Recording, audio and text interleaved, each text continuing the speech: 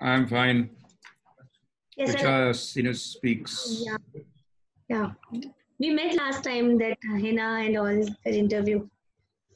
हाँ कैसा वो पाम पाम ग्रो होटल में ना या या या या कैसा चल रहा है सर तो ये कैसा कैसे कॉम्प्लीमेंट्स कैसे कमेंट्स क्या आ रहे हैं बस यार मैं सुन रहा हूँ कि लोग देख रहे हैं हम्म इट्स क्वाइट लोग इंटरेस्टिंग देख अब लोग रे- देख रहे हैं तो हम खुश हैं और क्या कह सकते हैं। करण और विपाशा बैक अगेन ना बहुत टाइम के बाद तो आपने कुछ डिसाइड करके रखा था? या स्टोरी उनको देख के लिखी थी या क्या कुछ था बताइए सर। एक्चुअली ये जो फ़िल्म है ना वो मीका जी ने प्रोड्यूस की है। हम्म या। और उन्होंने भूषण पटेल डायरेक्टर को साइन किया था। हम्म हम्म। और भूषण क्योंकि मुझे जानता है और मेरे बचपन का दोस्त है तो हम्म भूषण ने मुझे पूछा कि भैया आपके पास कोई कहानी हो तो बताना। हम्म। तो उस वक्त मैं मुझे याद है मैं 1921 की शूटिंग कर रहा था। हम्म। लंदन में। तो मैंने वहाँ से उनको लिख कर भेजा था कुछ। उनको पसंद आया। हम्म। तो उन्होंने कहा आप लिख के दे दो। तो हमने लिख के दे दी। हम्म। फिर उन्होंने कास्टिंग की है सारी। ओके। तो कैसा लग रहा है वापस उन दोनों के पेयर को फिर से ऑन स्क्रीन देख करके? कुछ वो पुरानी फिल्म्स का वो सब याद आ रहा है? कुछ चेंजेस आए उन लोगों में?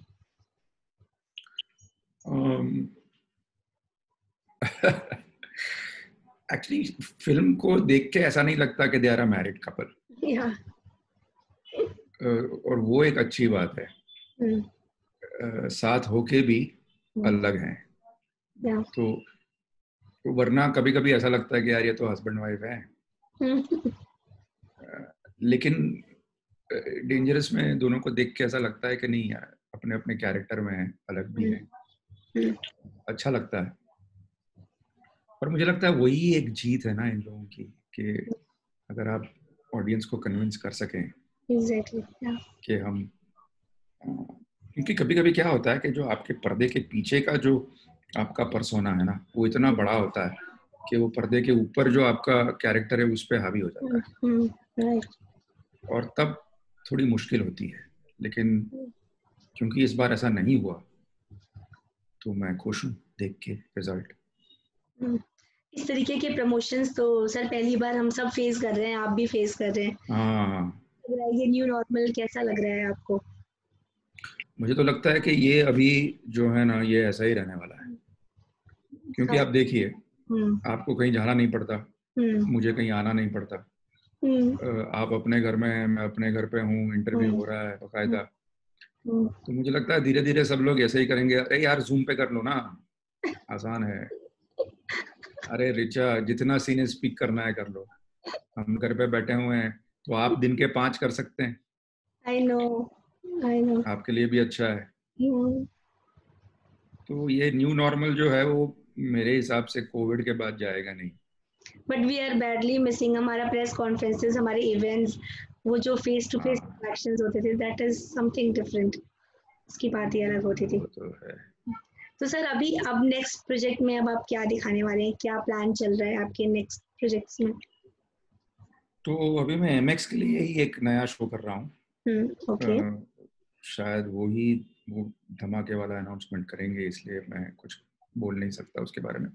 लेकिन मैं डायरेक्ट कर रहा हूँ खुद। एक एम का शो है। बाकी माया फोर कर रहा हूँ मैं। एम एक्स तो उस पर काम चल रहा है। बाकी भी काफ़ी शोज़ हैं। लेकिन आजकल क्या है ना बड़े कॉन्ट्रैक्ट्स हैं एनडीए हैं। अ, बात नहीं कर सकते। तो हमारे मुँह पे थोड़े ताले लगा देंगे लोगों ने। कुछ कुछ कुछ कुछ पेपर साइन करा के। तो आप ये सवाल नहीं पूछे तो अच्छा है वरना मुझे जेल जाना पड़ेगा। नहीं नहीं ऐसा मैं कोई काम नहीं करूँगी सर। और मैं ये भी जानना चाहती हूँ कि अब ओटीटी पे सब कुछ आ रहा है फ़िल्म सीरीज़ तो हम देख ही रहे थे बड़ी बड़ी फ़िल्म रिलीज़ हो रही है। As a. Director as a writer आप क्या क्या देखते हैं? ये क्या बेनिफिशियल है? या इसको कुछ बॉलीवुड को कुछ लॉस हो सकता है इससे?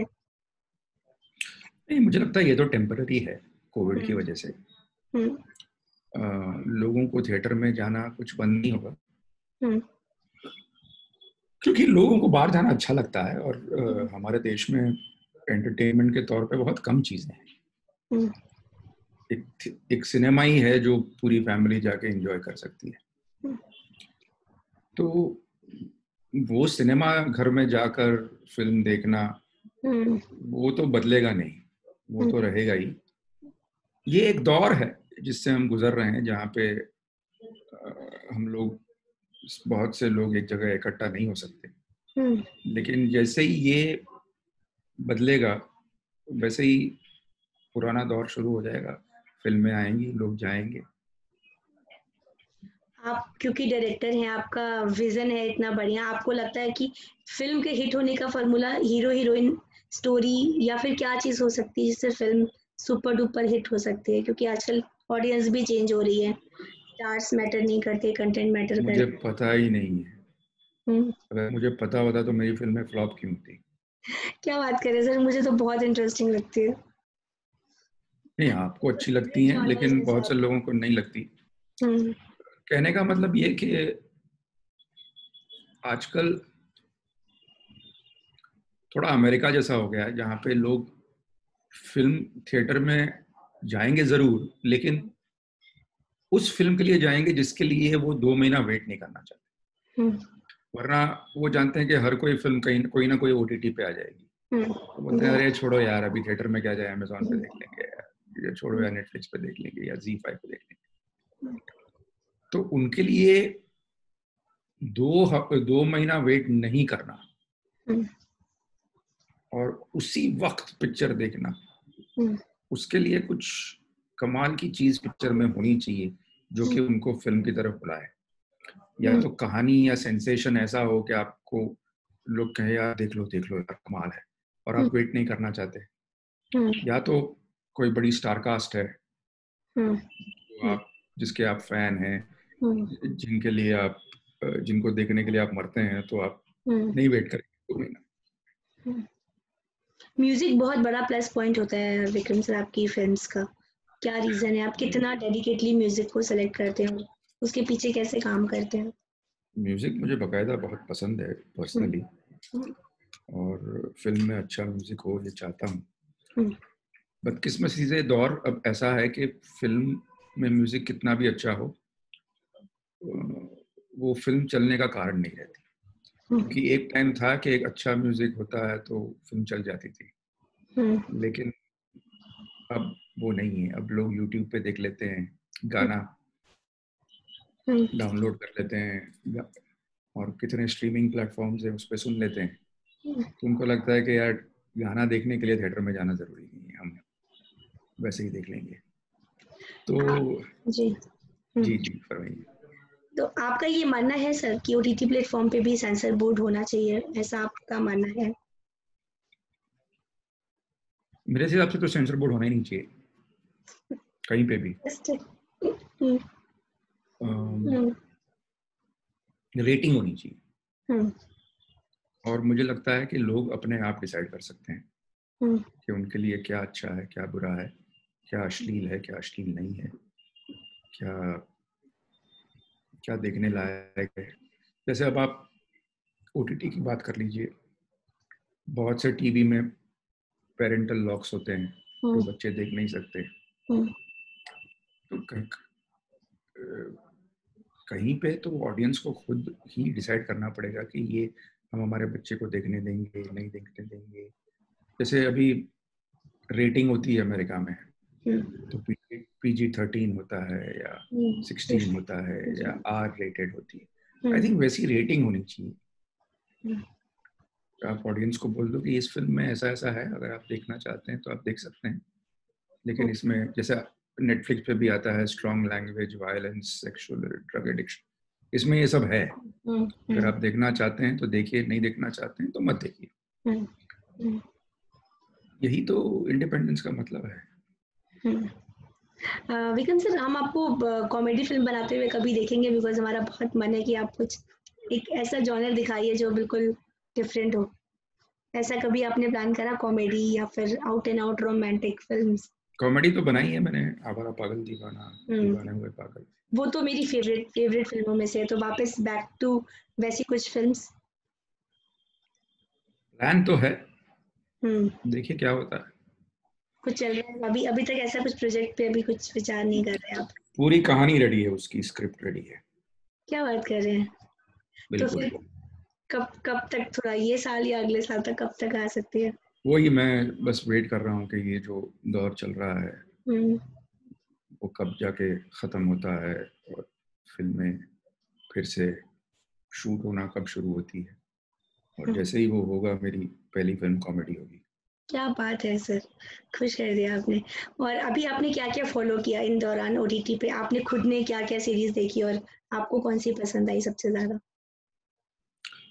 अच्छा मैं ना बहुत इम्पेशेंट ऑडियंस हूँ तो मुझे आप ना ही पूछे तो अच्छा है क्योंकि मैं आधा अधूरा सा देखता हूँ फिर छोड़ देता हूँ फिर कुछ और देखता हूँ।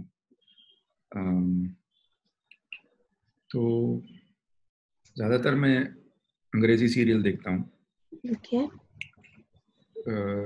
एब्सेंशा मैंने देखी मुझे बहुत अच्छी लगी आउटसाइडर स्टीफन किंग की बहुत अच्छी लगी um, एक और मैंने देखी जो अच्छी लगी मेरे को वो वॉरियर नन okay. अभी सब लोग बोल रहे हैं विक्रम तुमको यार अजीब अजीब चीज़ अच्छी लगती है वॉरियर नन किसी को अच्छी नहीं लगी मैं बोला मुझे अच्छी लगी यार मैं क्या करूँ hmm. मुझे वॉरियर नन अच्छी लगती है. तो देखी मैंने। तो वो अच्छी लगी मुझे बहुत। तो ऐसा ऐसा दिखता रहता हूँ मैं कुछ अजीब अजीब उटपटान। लेकिन डॉक्यूमेंट्रीज बहुत दिखता हूँ। बहुत मल्टी टैलेंटेड हैं आप सर प्रोड्यूसर हैं राइटर हैं डायरेक्टर हैं बहुत सारी चीज़ें करते हैं आप लिखते भी हैं। आप आपका सबसे ज़्यादा फेवरेट और ऐसा है कोई दिल के करीब चीज़ जो आपको पसंद हो इन सब में से? सवाल बहुत पूछा जाता है मुझसे। मुझे लगता है राइटिंग हम्म। सबसे ज़्यादा पसंद है मुझे अच्छा ओके क्योंकि राइटिंग में आप अकेले होते हैं किसी को बर्दाश्त नहीं करना पड़ता हम्म। आप जो कल्पना कर सकते हैं वो कर सकते हैं कोई बजट नहीं होता हम्म।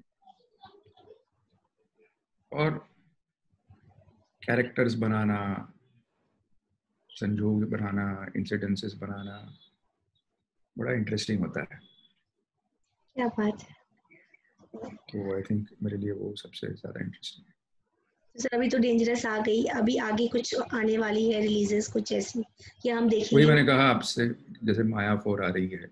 उसका टाइम कुछ ऐसा अभी बेजुबा एक और सीरीज़ है जो ये सब एमएक्स पे ही आने वाली है। एमएक्स पर ही आ रही है ओके सब जी जी जी। ओके फ़िल्म पे अभी ऐसा कुछ नहीं है बॉलीवुड की फ़िल्म फ़िल्म अभी बॉलीवुड फ़िल्म पे कोई काम नहीं है। Okay okay so Vikram sir thank you so much और हम थैंक यू रिचा सभी व्यूअर्स को रिक्वेस्ट करेंगे और बोलेंगे कि सब जा करके ये फ़िल्म ज़रूर देखिए। जाना भी नहीं है घर पे ही देखना है तो ज़्यादा महँगा और फ्री में देखना है। फ्री में देखना है। तो थैंक यू सर हमसे तो देख ही लो यार। जी जी बिल्कुल सब देखेंगे हम तो देख चुके हैं और थैंक यू सर और स्टे सेफ़ घर पे रहिए सुरक्षित रहिए और अच्छी अच्छी फ़िल्म देते रहिए हमें ऐसे ही। Thank you thank you Richa ठीक है बाय बाय सर